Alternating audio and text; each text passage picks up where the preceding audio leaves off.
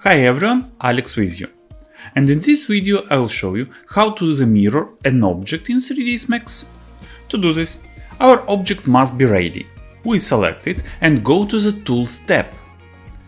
Here we are looking for the mirror button. By selecting it, something will happening and a window will appear that will allow us to configure a mirroring.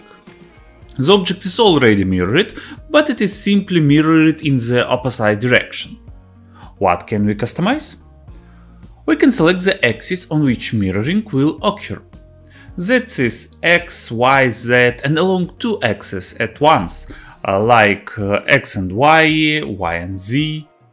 There is also an offset parameter, which is responsible for the offset of the object. That is, I can move it to the left or to the right. This can only be useful if you are not just mirroring an object, but also copying it. You can select what this object should be copied below. So we're just mirroring without a copy, but I'll choose for example copy. And now I see two objects. And now I can move its copy and put the mirrored object next to it or, for example, choose a different axis so that they stand side by side. The value can also be set to a negative value.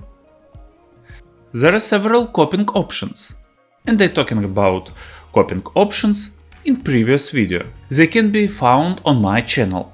That is, what is difference between instance and reference copies. That's probably all. This is how you can quickly and easily mirror an object. If the video was useful to you, subscribe to the channel because it will only get more interesting.